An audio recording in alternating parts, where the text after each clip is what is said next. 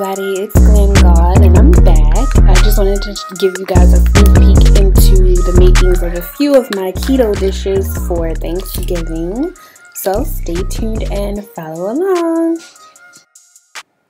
So I drove over to the farmer's market. It's called Papado, and I got the fattest fresh farm raised turkey I could find, along with some fresh vegetables, herbs, um, a lot of good dairy, and just some stuff to prep the dinner for Thanksgiving.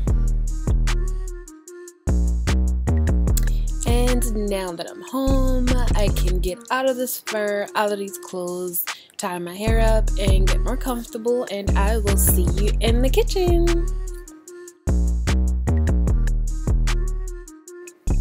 So now that I have all of my vegetables, my herbs, my cranberries, everything to start seasoning and giving all of my food a little bit of flavor, I'm going to rinse everything off, wash all of my food off, and then I'm going to chop, chop, chop it up. So I'll just give you a little sneak peek into all of that.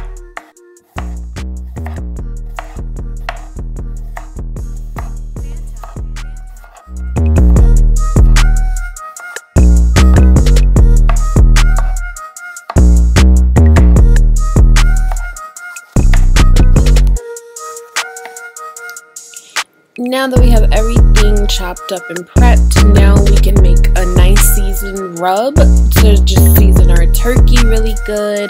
Um, pretty much what I use, the herbs that I use is, is kosher salt, pepper, rosemary, um, a little unsalted butter, garlic powder, onion powder, and a sprinkle of like Cajun Cajun spice.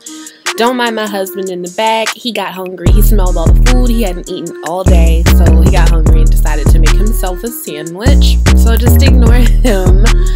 Um, so anyway, what I did, I loosened up the turkey's skin a little bit, spread the seasoning under it, and once that's all finished, pretty much surround it with the vegetables, cover it up, and pop that baby in the oven for about three to four hours.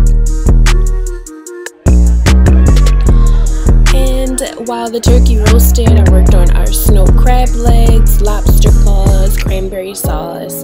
Um, we also have sweet potatoes with marshmallow cover, mashed cauliflower, mac and cheese with whole wheat pasta, sauteed green beans, shrimp, and cloud bread rolls.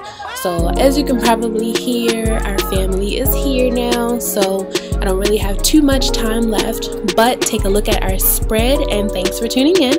I hope your Thanksgiving is as special as ours. Don't forget to like, comment, subscribe, and follow all of my social medias and tune into the blog for the credits.